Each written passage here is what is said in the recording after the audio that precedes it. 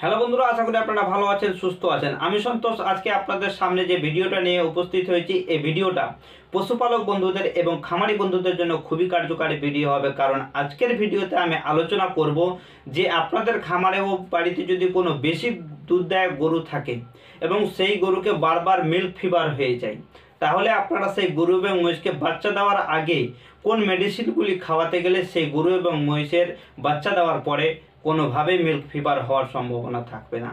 তো অবশ্যই ভিডিওটাকে শুরু থেকে শেষ পর্যন্ত দেখবেন। আর যদি চ্যানেলটিতে নতুন হয়ে থাকে, তাহলে অবশ্যই চ্যানেলটিকে সাবস্ক্রাইব করে রাখবেন। কারণ এই ধরনের নতুন নতুন মেডিসিন সম্পর্কিত ভিডিও আমি আপলোড করতেই থাকি। তো চলুন, দেরি না করে সে ভিডিওটি শুরু করা যাক।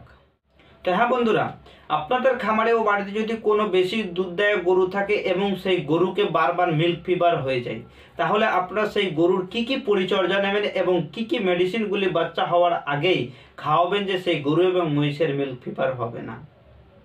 প্রথমত আপনাদের বলে দিই যে আপনার গরু এবং মহিষ যখন গাভীন হবে, অর্থাৎ প্রেগনেন্ট হবে, তার তিন থেকে চার মাস পর থেকে আপনার সেই গরুকে অবশ্যই ক্যালসিয়াম খাওয়াবেন।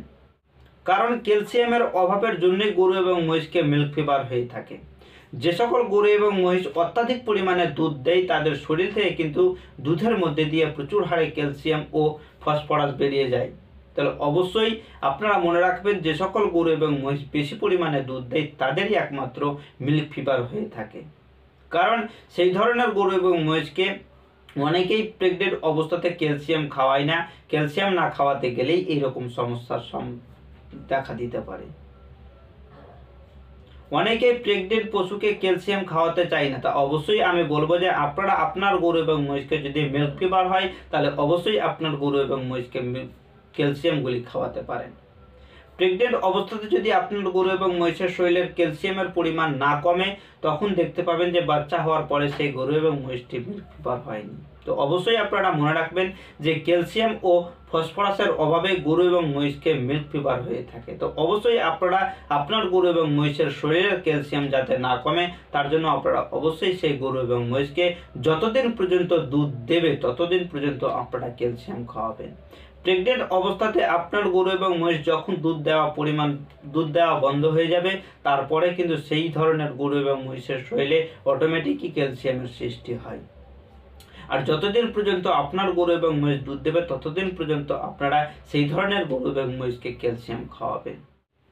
শুধুমাত্র তাই নাই, সেই গরু এবং মহিষটিকে মিল্ক ফিভার হয়, তাকে দানাদার খাদ্য অবশ্যই খাওয়াতে হবে এবং তার সাথে সাথে গরু এবং মহিষ যখন প্রেগনেন্ট থাকবে প্রেগনেন্ট অবস্থাতে ক্যালসিয়ামের সাথে সাথেও আপনারা আয়রন টনিক যেটা ভেটেনারি মেডিসিনের দোকানে সার্কোফেরল হিসেবে আপনারা পেয়ে যাবেন।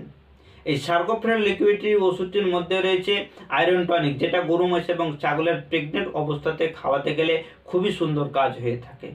তো অবশ্যই আপনারা এই সার্কোফেরল এবং লিকুইড ক্যালসিয়াম ঔষধ আপনার সেই গরু এবং মহিষকে খাওয়াবেন এরপরে যেটা আপনাকে করতে হবে সেটা হচ্ছে আপনার গরু এবং মহিষ যখন ন মাস পূর্ণ হবে, তারপরে অবশ্যই আপনারা সেই গরু এবং মহিষকে এই ক্যালসিমাস্ট জেল এই ক্যালসিমাস্ট জেল আপনারা সেই গরু এবং মহিষকে মিনিমাম পাঁচ থেকে সাত দিন খাওয়াবেন।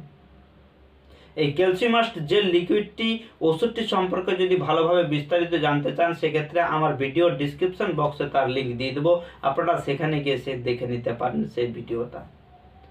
এবং আপনারা আপনার গরু এবং মহিষের উপর সবসময় লক্ষ্য রাখবেন যে আপনার গরু এবং মহিষটিকে মিল্ক ফিভার হয়, সেটা গরু এবং মহিষ যখন বাচ্চা দেবে, বাচ্চা দেওয়ার পরে কিন্তু তার সেই পালন থেকে, অর্থাৎ থান থেকে সম্পূর্ণ দুধ যাতে না বের করা হয়।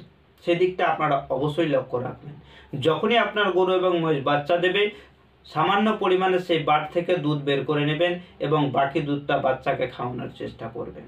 কারণ যদি আপনার সেই গরু এবং মহিষের সম্পূর্ণ দুধ বের করে নেন, তখন কিন্তু আপনার গরু এবং মহিষটিকে মিল্ক ফিভার হয়ে যাওয়ার সম্ভাবনা বেশি থাকবে। এমনকি বিভিন্ন ক্ষেত্রে গরু এবং মহিষের দেখা যায় যে বাচ্চা দেওয়ার পরে সম্পূর্ণ দুধ বের করার পরে পরেই সেই গরু এবং মহিষটি দু থেকে তিন দিনের মধ্যেই মিল্ক ফিভারে আক্রান্ত হয়েছে, এমনকি বসে উঠতে পারছে না, কোনো খাবার খাচ্ছে না। তো অবশ্যই আপনারা মনে রাখবেন, যে সকল কথা আমি আপনাদের সামনে বললাম, এ সকল কথা যদি আপনারা পালন করেন, তাহলে অবশ্যই আপনার গরু এবং মহিষকে কোনোভাবেই মিল্ক ফিভার হবে না।